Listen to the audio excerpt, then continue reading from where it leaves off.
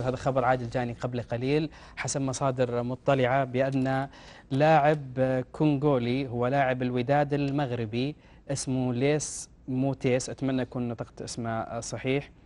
آه، اللاعب ليس موتيس وهو لاعب كونغولي هو أحد اللاعبين الذين تم مفاوضتهم أو يتم الآن مفاوضتهم من قبل إدارة الاتحاد لأن يكون أحد اللاعبين في الفترة القادمة.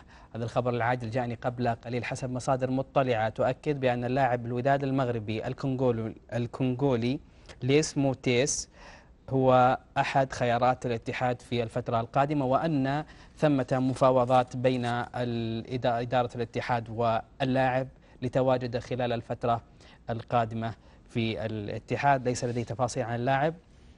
يعني الآن جاني خبر